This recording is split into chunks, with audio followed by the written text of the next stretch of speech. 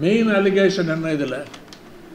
Adani group வந்து அவங்களுடைய பங்கு விலையை ஆர்டிஃபிஷியலாக they are inflating it through round tripping Vinod அதா அதானி என்று கௌதம் அதானியுடைய எல்டர் பிரதர் வெளியூரில் வந்து பல ஷெல் கம்பெனிஸ் பர்முடா மோரிஷியஸ் அதெல்லாம் ஆப்ரேட் பண்ணி ரெண்டாவது குற்றச்சாட்டு என்னென்னா அக்கவுண்டிங் ஃப்ராட் என்ன கேட்டால் இன்வெஸ்டிகேட்டிவ் ஜேர்னலிஸ்டில் ஒரு சிறந்த ஒரு மாடல் இன்வெஸ்டிகேஷன் என்று சொல்லுவேன். இண்டன்பர்க் செய்தது. எல்லா விஷயங்களும் பேஸ்ட் ஆன் ஃபேக்ட்ஸ் அவங்க ஒப்பீனியன் அதில் அதிகமாக கிடையாது. எடிட்டோரியல் அவங்க அதில் எழுதலை. இதை வந்து ஏன் இவங்க அதை இன்வெஸ்டிகேட் செய்யலை? ஆனால் இது ஒரு பெரிய சர்ப்ரைஸ் இல்லை. எந்த ஊழல் நடந்தாலும் பொஃபோர்ஸோ ரஃபாலோ வேறு எந்த ஊழல் நடந்தாலும் கவரப் என்பது நேச்சுரல் அது ஒரு லா ஆஃப் நேச்சர் என்று சொல்லலாம் அரசியலில். இதில் நம்ம இன்ஸ்டிடியூஷன்ஸ் ஹவ் ஃபெயில் மிசரபிளி ஒன்றிய அரசாங்கமோ ஃபினான்ஸ் மினிஸ்ட்ரியோ செபி சேர் யார் செபியை யார் அப்பாயிண்ட் பண்ணுறது செபி ஃபுல் டைம் மெம்பர்ஸ் யார் அப்பாயிண்ட் பண்ணுறது to protect not just Madhabi Buch but செபியோடைய reputation செபியுடைய இன்னைக்கு போக்கை கவரப் பண்ணுறதுக்கு தவறான போக்கை கவரப் பண்ணுறதுக்கு இது ஒரு சூழ்ச்சி என்று தான் இதை பார்க்க வேண்டும். இது ஒரு uh, அட்டெம்ப்ட் இது வந்து சக்சீட் ஆகாமல் ஃபெயில் ஆகுங்கிறது வேறு விஷயம். இப்போ வந்து வேறு சில விஷயங்கள் வந்ததுனால மக்களுடைய பார்வை இதில் அதிகமாக இருந்ததாக தெரியல இப்போ. Right now it is not a hot issue but the issue will come back Madhabi Buch என்பவர்கள் அவங்கள ரிமூவ் பண்ணுறது ஒரு முக்கியமான விஷயம். ஒரு தனிநபரை ரிமூவ் பண்ணுறது மட்டும் இல்லை. ஷி மஸ்ட் பி சாக்ட் அந்த ஷோகாஸ் நோட்டீஸை படித்தீங்கன்னா சேர்ப்பு தான் வரும் ஒரு ரெடிக்குலஸ் ஷோகாஸ் நோட்டீஸ் என்ன ஸ்கேண்டல் என்ற வார்த்தை யூஸ் பண்ணுறக்கூடாது நீங்கள் வந்து இந்தியன் ஸ்டாக்கு டீஸ்டபிளைஸ் பண்ணுறீங்க இப்படின்லாம் தான் இருக்க தவிர ஒரு ஃபேக்டை கூட சேலஞ்ச் பண்ணதாக தெரியவில்லை. அது ஃபுல்லாக ஹிண்டன்பர்க் ரிசர்ச் இந்த லேட்டஸ்ட் இதில் பார்த்தீங்கன்னா அந்த செக்ஷனில் கிளியராக தெரியும். ஒரு ஆர்கனைசேஷன் ஸ்மால் ஆர்கனைசேஷன் அதனால தான் ஹிண்டன்பர்க் ரிசர்ச் அவங்களுக்கு அதனால் பலன் கிடைக்கலன்னு சொல்ல முடியாது. இந்த விஷயத்தில் அவங்க என்ன சொல்லியிருக்காங்கன்னா one of our investors took a short position இதில். அதில் சில சின்ன லாபம் கிடைச்சிது. ஆனால் எங்கள் செலவு அதை விட இருந்து அதிகமாக இருந்தது. இது பணத்துக்காக நான் செய்யவில்லை. இது எக்ஸ்போஸ் பண்ணுறதால செய்யவில்லை. அவங்களோட கிளைம் அது. இந்த கருத்தரங்கம் இந்த கூட்டத்தில் சப்ஜெக்ட் என்னவென்றால் Hindenburg report Adani group and SEBI Hindenburg அறிக்கை அதானி குழுமம் செபி இவங்களுடைய நடவடிக்கையை பற்றி என்ன அதோடைய சாராம்சம் என்ன அதோடைய சில விவரங்கள் என்ன அதிலேருந்து நம்ம என்ன பாடங்கள் கற்று கற்றுக்கொள்ளலாம். இன்ஸ்டிடியூஷன்ஸ் வந்து எப்படி நடந்துகிட்ருக்காங்க இந்த இந்த கேள்விகள்லாம் எழுகின்றன இந்த இதில். வைகை அவர்களும் ஜி. ராமகிருஷ்ணன் அவர்களும் வெங்கடேஷாத்ரே அவர்களும் அவங்களுடைய பர்ஸ்பெக்டிவில் தெளிவாக இந்த விஷயங்களை பற்றி பேசியிருக்காங்க. இதில் ஃபேக்ட்ஸ் என்பது முக்கியம். ராமகிருஷ்ணன் சொன்ன மாதிரி இது ஒரு புலனா ஒரு புலனாய்வுக்குள்ள ஒரு விஷயம் ஒரு இன்வெஸ்டிகேஷன் இதில். அதில் ஜேர்னலிஸ்டுக்கு முக்கியமான பங்கு உண்டு. அவங்களுடைய கடமை என்று சொல்லலாம். இது ஹிண்டன்பர்க் மட்டும் இன்வெஸ்டிகேட் பண்ணதில்லை. ஹிண்டன்பர்கோடைய லேட்டஸ்ட் அறிக்கையில் பார்த்தீங்கன்னா ஆகஸ்டில் வந்த முதல்ல வந்து நான் ஜனவரி டூ தௌசண்ட் டுவெண்ட்டி த்ரீல முதல் ஒரு குண்டு வெடித்தாங்க. ஒரு பெரிய விஷயம். அதுதான் மெயின் ரிப்போர்ட் அதுக்கு வரேன். ஆனால் இப்போ ஆகஸ்டில் கொண்டு வந்ததில் ஒரு முக்கியமான ஒரு விஷயத்தை அதில் சொல்லியிருக்காங்க. நாங்கள் பண்ணது மட்டும் இல்லை நாங்கள் சொல்கிறத விட இது ரொம்ப அப்டேட் ஆகிருக்கு கிட்டத்தட்ட நாற்பது ஊடகங்கள் ஃபினான்ஷியல் டைம்ஸ் போன்ற ஊடகங்கள் வெளிநாட்டு ஊடகங்கள் ராய்டர்ஸ் அது லிஸ்ட் கொடுத்துருக்காங்க. யார் யார் என்ன ஸ்டோரி பண்ணாங்கன்னு அந்த ஹிண்டன்பர்க் ரிசர்ச் டாட் காமுக்கு போய் பார்த்தீங்கன்னா தெளிவாக அந்த விஷயம் தெரியும். அதனால் ஜேர்னல் இன்வெஸ்டிகேட்டிவ் ஜேர்னலிசம் ஏற்கனவே இதில் முக்கியமான சில விஷயங்களை முன்னால் கொண்டு வந்திருக்காங்க. ஒட்டு மொத்தமாக பார்க்கணும். இந்த இதை. லேட்டஸ்ட் சில முக்கியமான கேள்விகள் ஹவ் அரிசன் முதல்ல நான் சொல்ல வேண்டியது உச்ச நீதிமன்றம் இதை தவறான வழியில் தான் இதை பார்த்துருக்காங்க.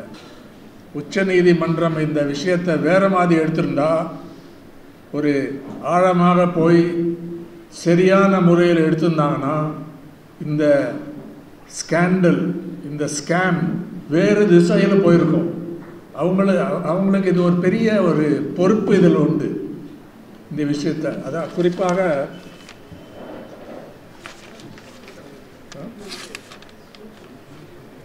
அவங்க கன்க்ளூஷன் எடுத்து பார்க்கலாம்.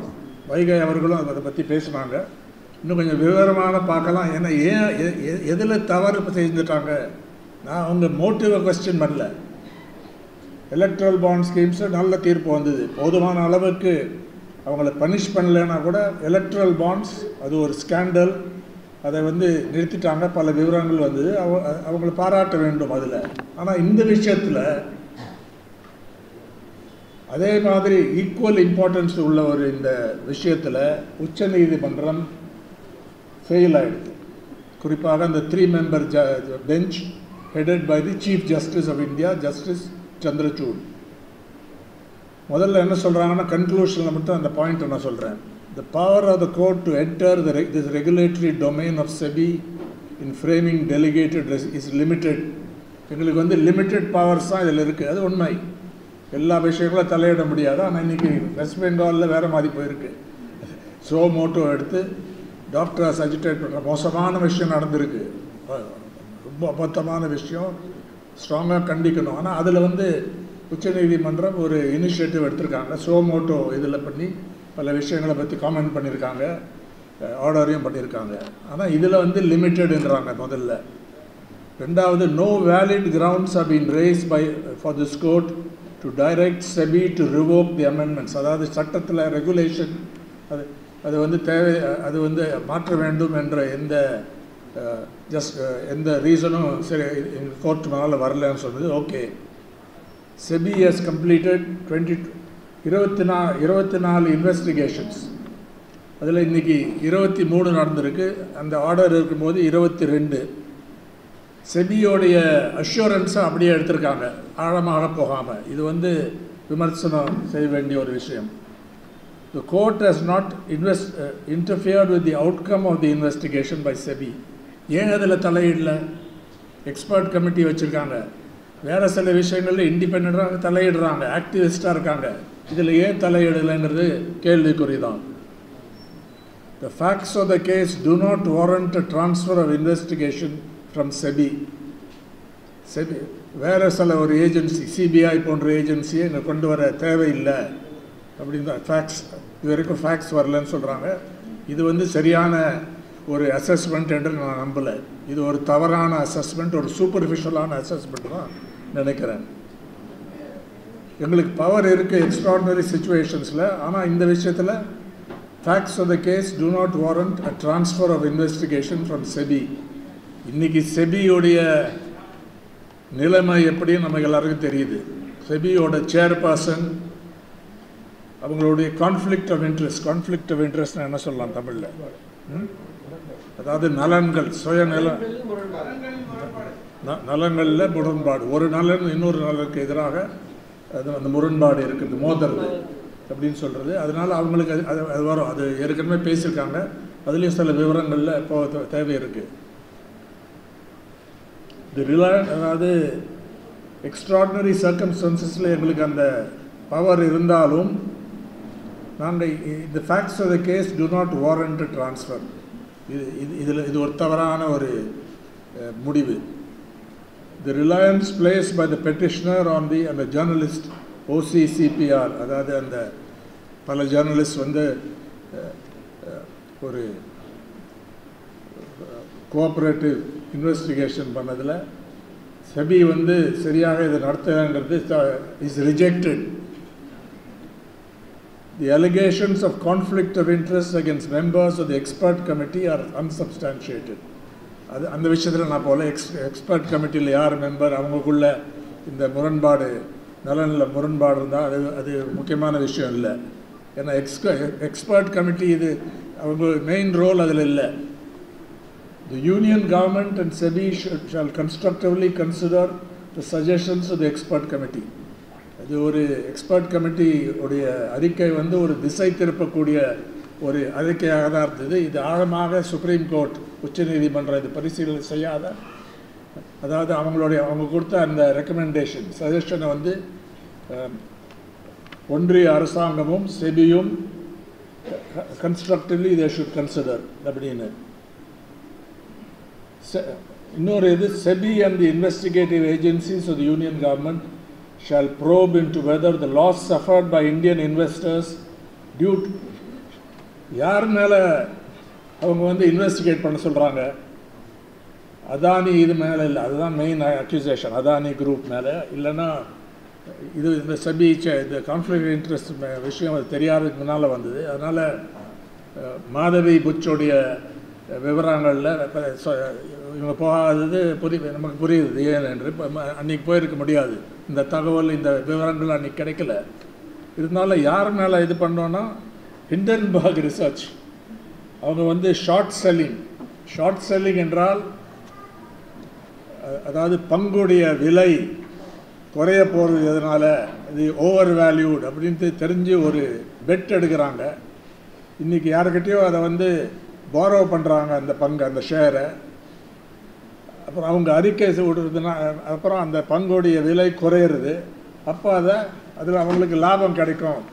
எப்படிங்கிறது அது வந்து சட்டவிரோதமான ஒரு சட்டவிரோதமான ஒரு ஒரு செயலா என்று செபி ஷுட் இன்வெஸ்டிகேட் அதுக்கப்புறம் தான் SEBI sent show cause notice to Hindenburg அந்த ஷோ காஸ் நோட்டீஸை படிச்சீங்கன்னா சேர்ப்பு தான் வரும். ஒரு ரெடிக்குலஸ் ஷோ காஸ் நோட்டீஸ் என்ன ஸ்கேண்டல் என்ற வார்த்தை யூஸ் பண்ணுறக்கூடாது நீங்கள் வந்து இந்தியன் ஸ்டாக் டீஸ்டபிளைஸ் பண்ணுறீங்க இப்படின்லாம் தான் இருக்க தவிர ஒரு ஃபேக்டை கூட சேலஞ்ச் பண்ணதாக தெரியவில்லை. அது ஃபுல்லாக ஹிண்டன்பர்க் ரிசர்ச் இந்த லேட்டஸ்ட் இதில் பார்த்தீங்கன்னா அந்த செக்ஷனில் கிளியராக தெரியும். என்ன பண்ணிருக்காங்க அதனால் ஹிண்டன்பர்க் வந்து சட்டவிரோதமாக நடந்துட்டு இருக்காங்களா? பிகாஸ் அந்த அந்த தகவல் கொண்டு வந்து ரெண்டாவது ஷார்ட் பொசிஷன் எடுத்ததுனால அது இந்திய ச இந்திய சட்டங்களுக்கு விரோதமாக இருக்காங்கிறது நீங்கள் நீங்கள் அதை இன்வெஸ்டிகேட் பண்ணணும்னு சொல்லி அது சொல்லியிருக்காங்க. அதனால் இதை கம்ப்ளீட்டாக ஒரு இவங்களுக்கு ஒரு சர்டிஃபிகேட் கொடுத்த மாதிரி இப்போ ஆயிடுத்து இதில். இன்னும் இதுக்கப்புறம் ஒரே ஒரு இன்வெஸ்டிகேஷன் தான் இன்னும் நடக்கவில்லை. அதர்வைஸ் தேவ கவர்ட் அப் செபி வந்து கம்ப்ளீட்டாக இதை கவர் அப் பண்ணிட்டாங்க. ஒரு தவறு நடக்கலைன்னு. அந்த ஒரிஜினல் ரிப்போர்ட்டில் என்ன சொல்லியிருக்காங்கன்னா இது greatest con in corporate history Hindenburg research என்பது ஒரு சிறிய நிறுவனம் சிறிய ரிசர்ச் குரூப் நேட் ஆண்டர்சன் என்பவர் ஆரம்பித்து அவங்களுடைய மெயின் வேலை இந்த மாதிரி ஓவர் வேல்யூட் க இது கம்பெனிஸ் ஸ்டாக்ஸ் இல்லைன்னா ஃப்ராட் செய்யக்கூடியவங்க கரப்ஷன் ஊழல் செய்யக்கூடியவங்க அக்கவுண்டிங் ஃப்ராட் நடக்கக்கூடிய விஷயங்கள் இதெல்லாம் எடுத்து அவங்களுக்கு ஒரு ஸ்மால் குரூப்பாக இருந்தாலும் பெரிய இம்பேக்ட் ஏற்படுத்தக்கூடிய ஒரு ஒரு ஆர்கனைசேஷன் ஸ்மால் ஆர்கனைசேஷன் அதனால தான் ஹிண்டன்பர்க் ரிசர்ச் அவங்களுக்கு அதனால் பலன் கிடைக்கலன்னு சொல்ல முடியாது. இது- இந்த விஷயத்தில் அவங்க என்ன சொல்லியிருக்காங்கன்னா one of our investors took a short position இதில். அதில் சில சின்ன லாபம் கிடைச்சிது. ஆனால் எங்கள் செலவு அதை விட இருந்து அதிகமாக இருந்தது. இது பணத்துக்காக நான் செய்யவில்லை. இதை எக்ஸ்போஸ் பண்ணுறதால செய்யவில்லை. அவங்களோட கிளைம் அது. அதை வந்து பரிசீலனை செய்யலாம். அது உண்மையா இல்லையான்னு சொல்லி. ஆனால் அதுக்கு எதிராக ஃபேக்ட்ஸ் அது இல்லைன்னு யாராலையும் நீங்கள் சொல்ல முடியாது. மெயின் அலிகேஷன் என்ன இதில்? அதானி குரூப் வந்து அவங்களுடைய பங்கு விலையை ஆர்டிஃபிஷியலாக they are inflating it through round tripping Vinod அதா அதானி என்று கௌதம் அதானியுடைய எல்டர் பிரதர் வெளியூரில் வந்து பல ஷெல் கம்பெனிஸ் பர்னுடா மௌரிஷியஸ் அதெல்லாம் ஆப்ரேட் பண்ணி அந்த பணத்தை இங்கே கொண்டு வந்து இந்த பங்குடைய விலையை ஆர்டிஃபிஷியலாக தே ஹவ் இன்ஃப்ளேட்டட் என்பது தான் ரெண்டாவது குற்றச்சாட்டு என்னென்னா அக்கவுண்டிங் ஃப்ராட் அதாவது அவங்க அக்கௌண்ட்ஸ் வந்து இப்போ வச்சுருப்பாங்கல்ல ரெண்டாவது ஒரு பேரலல் அக்கவுண்ட்ஸ் அந்த மாதிரி. ஸோ அக்கவுண்டிங் ஃப்ராட் என்பது ஒரு சீரியஸான இது. டிலாய்ட் என்ற ஒரு பெரிய அக்கவுண்டிங் ஃபேம் கன்சல்டன்சி ஃபேம் அதிலேருந்து விலகி விட்டார்கள் some small very small accounting ஃபார்ம்ஸை தான் அவங்க வச்சுருந்தாங்க. இது வந்து மெயின் மெயின் ரிப்போர்ட்டோடைய சாராம்சம் அதுதான். இதுதான் allegation January two two thousand twenty த்ரூவில் வந்தது. அதுக்கு முன்னால் இந்த விஷயம் தெரியாதுன்னு யாரும் சொல்ல முடியாது. சுச்சேதா தயா போன்றவங்க இதெல்லாம் இது இதை பற்றி இன்வெஸ்டிகேட் பண்ணி பல கட்டுரைகள் பத்திரிகைகள் வந்திருக்கு. இதுக்கு முன்னால். ஆனால் ஹிண்டன்பர்க் தான் அதை இன்னும் ஆழமாக கொண்டு வந்து ஒரு comprehensive report hundred and hundred and six பேஜஸாக hundred and six pages report அதை படிக்கலாம். படித்தா அதில் தெளிவாக நல்லா எழுதியிருக்காங்க. அது ஒரு என்ன கேட்டால் இன்வெஸ்டிகேட்டிவ் ஜேர்னலிஸ்டில் ஒரு சிறந்த ஒரு மாடல் இன்வெஸ்டிகேஷன் என்று சொல்லுவேன். இன்டர்பர்க் செய்தது. எல்லா விஷயங்களும் பேஸ்ட் ஆன் ஃபேக்ட்ஸ் அவங்க ஒப்பீனியன் அதில் அதிகமாக கிடையாது. எடிட்டோரியல் அவங்க அதில் எழுதலை. இந்த ஃபேக்ட்ஸை கொடுத்து அதுலேருந்து கன்க்ளூஷன் ட்ரா பண்ணிருக்காங்க. தெரியாத விஷயங்களை அவங்க கெஸ் பண்ணி போடலை. இதில் இந்த விஷயம் வந்து எங்களுக்கு இன்னும் தெரியல. இது இப்படி தான் it seems to be so அப்படின்லாம் இருக்குது அந்த ரிப்போர்ட்டில் கிளியராக அதனால் இதை வந்து ஏன் இவங்க அதை இன்வெஸ்டிகேட் செய்யலை? ஆனால் இது ஒரு பெரிய சர்ப்ரைஸ் இல்லை. எந்த ஊழல் நடந்தாலும்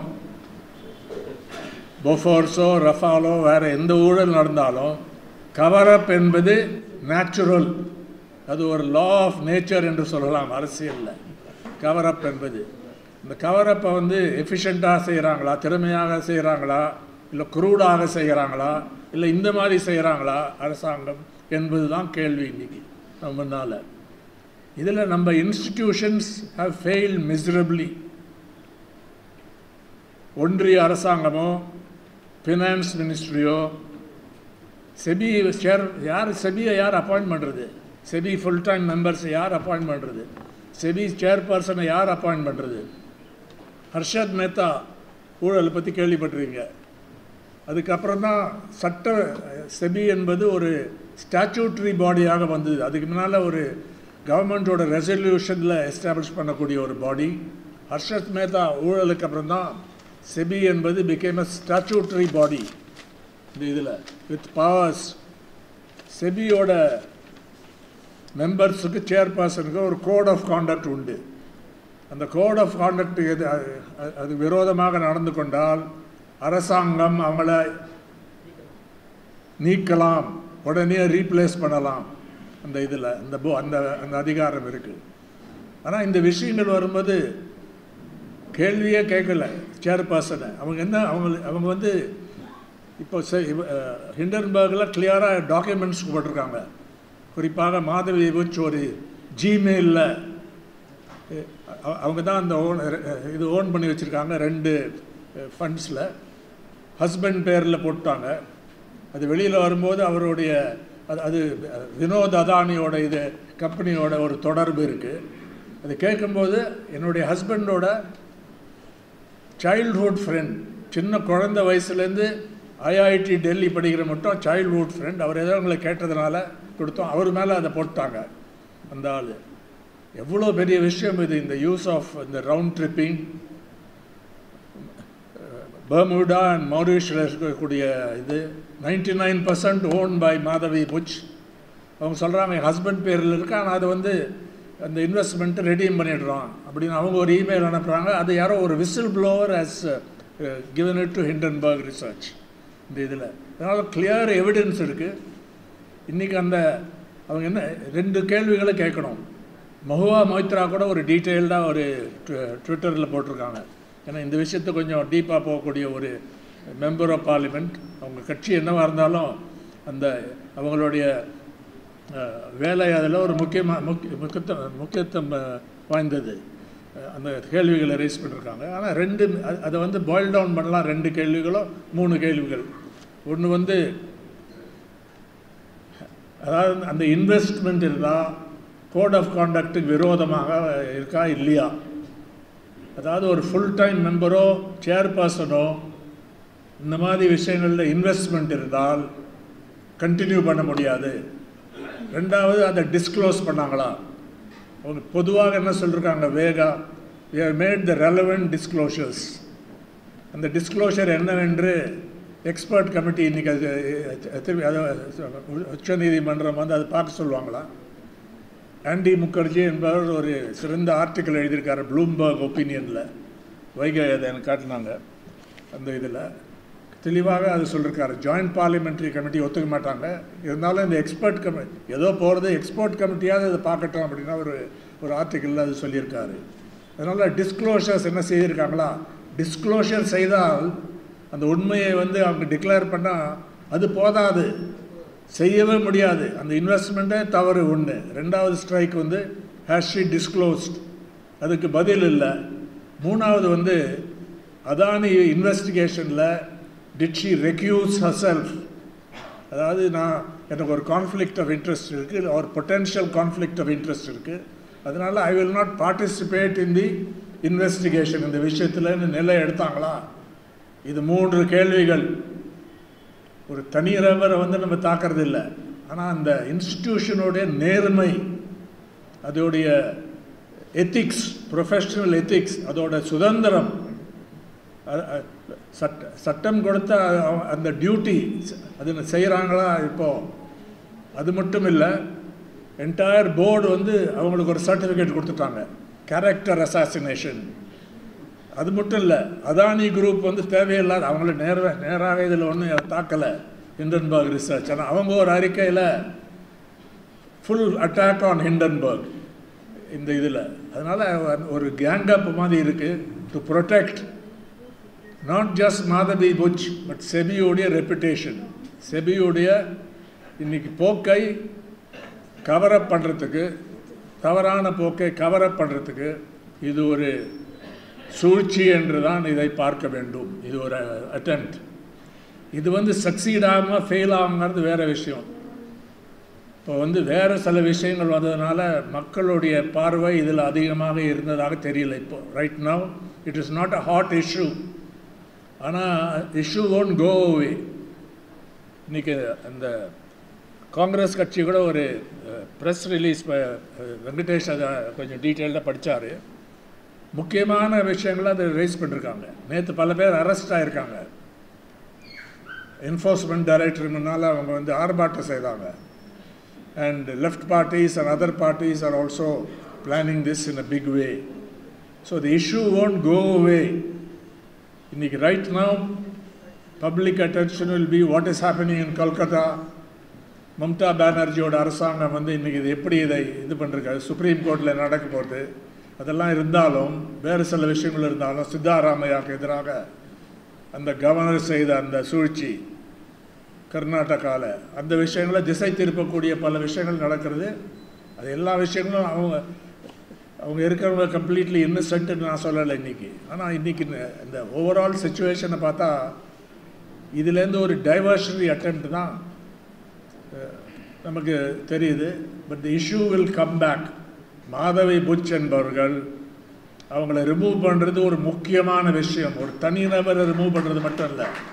ஷி மஸ்ட் பி சாக்ட் இந்த இதில் what she has done is completely indefensible not answering these questions is indefensible அதனால் இதில் வந்து we come back to the conduct of institutions அதுதான் இதில் பெரிய விஷயம். இந்த ஃப்ரேம் ஒர்க்கை பற்றி வெங்கடேஷ் சொன்னார். They have to see it in larger context. அதை பற்றி சில விஷயங்களை சொல்லிவிட்டு நான் முடிச்சுக்கலாம்னு நினைக்கிறேன்.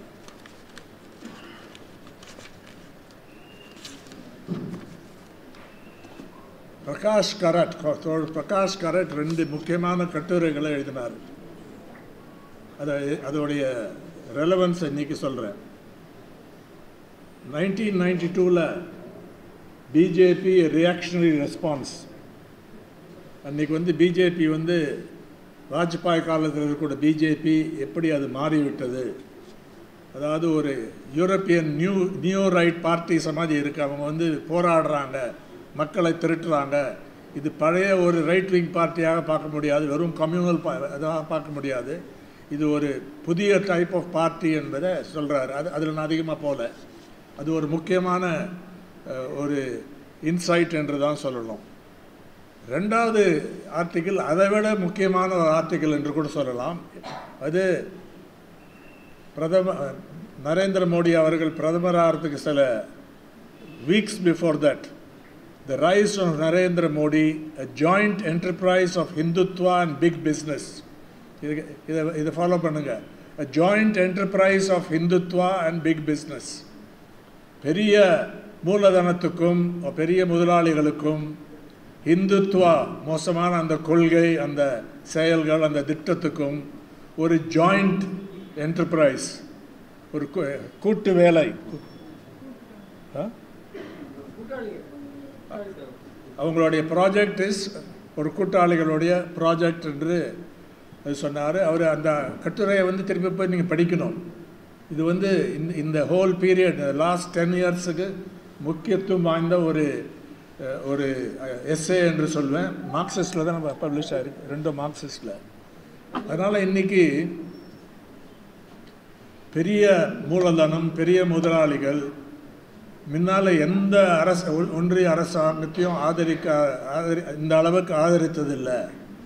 ஒரு நியர் யுனானிமஸாக ஆதரிச்சிருக்காங்க என்பதுக்கு அதுதான் அதோடைய அந்த- அந்த விஷயத்தை தான் அவர் போகிறாரு இது வந்து இன்னொன்று சொல்கிறாரு வேறு சில நாடுகளில் ஃபேஷிசத்துக்கு இதுதான் அதான் இதுதான் ஃபவுண்டேஷன் ஆனால் இந்தியாவில் அந்த நெருக்கடி ஏற்படவில்லை ஃபார் தி ஆளும் வர்க்கங்களுக்கு.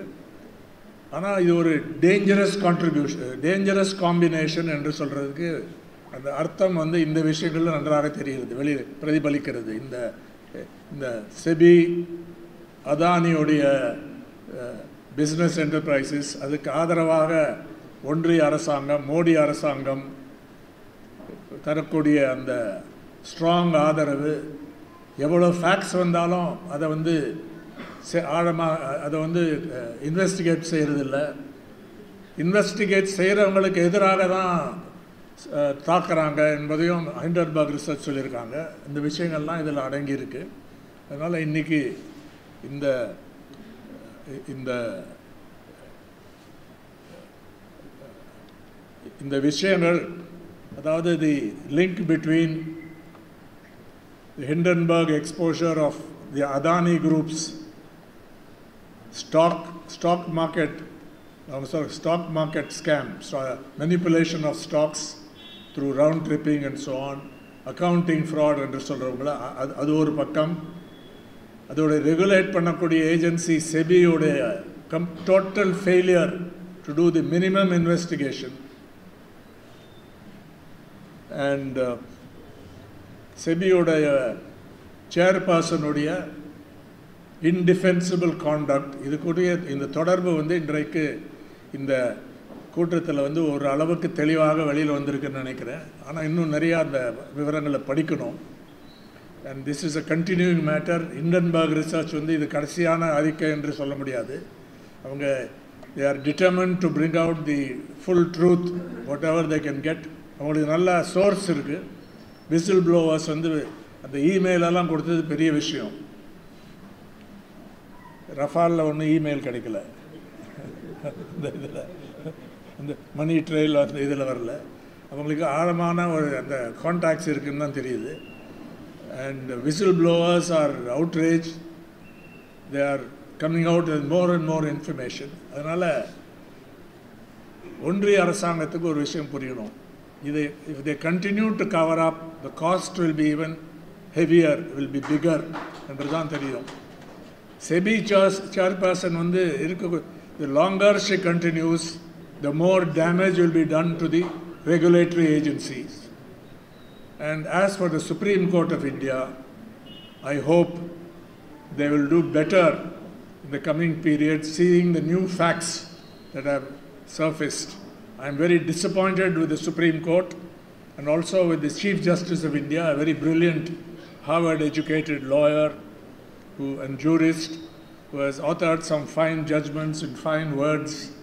But when it comes to these key things, the Supreme Court of India, with all due respect, is failing to get to the heart of the matter. And I think uh, I would leave it to Vaigai and senior advocate Vaigai and those like her to reflect more on this. She also threw some challenge to task to us.